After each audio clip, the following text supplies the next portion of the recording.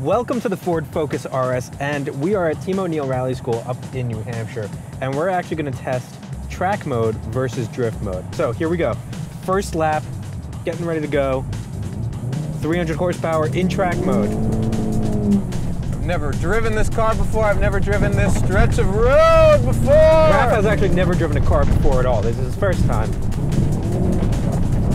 And we're into the slalom course over here. Really feel it bite down. The car is fighting the yaw. Whoa, very, very poor lap.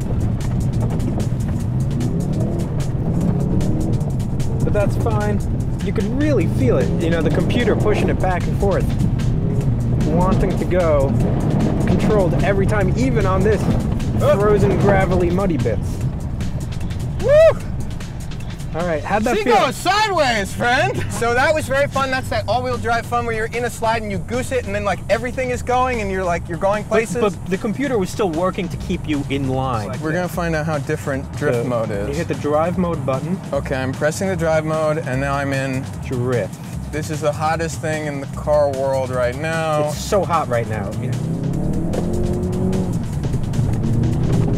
Better Alright, shifting. still going fast. Ooh, I can already feel it's loose. It's much looser than it was. Real bad driving from Mr. Orlove. Ooh, It does feel a little bit more. Oh yeah, it really lets you slide. It does feel a little bit more. That is way more sliding. Wow. I feel like I could feel like I could spin this thing. Yeah. No, but you, it feels like you're steering more with the throttle. Yeah, you can really lift off, then goose it, and it'll hold a little bit of a slide. You can see I'm basically just slaloming around the cones. Oh, it's Throttle, way more throttle. sideways. Throttle, oh my. God, it's so much more sideways. Oh yeah. Oh my God, that's. Uh, Oh my God, that's so much better. now what we're gonna do is we're gonna put Wyatt Knox from Team O'Neil Rally School. Who's- Wyatt Knox is one of the best drivers in the country. He's two-wheel drive national championship. I've co-driven for him. He's the best.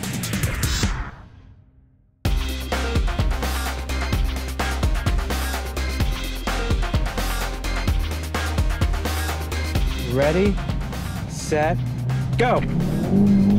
Oh, too much wheel spin on the start. Oh, but it's just perfect. Whoa, you drive a lot faster than Raph.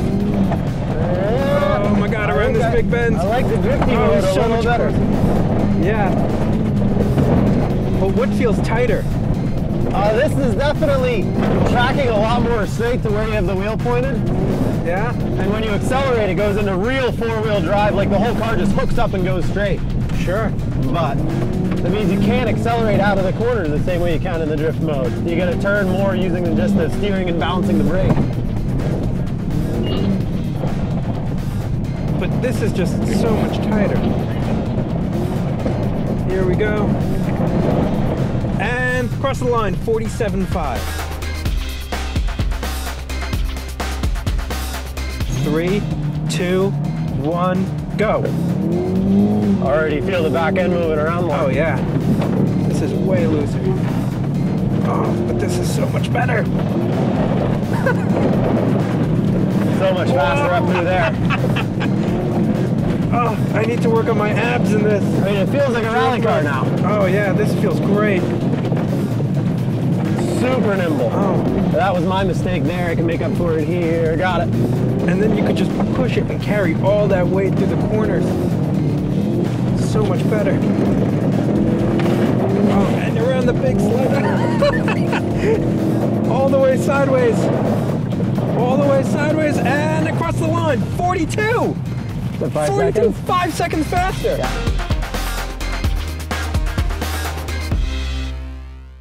So now that we figured out that drift mode is actually five seconds faster on this gravel course, let's just go hoon the crap out of this thing, right?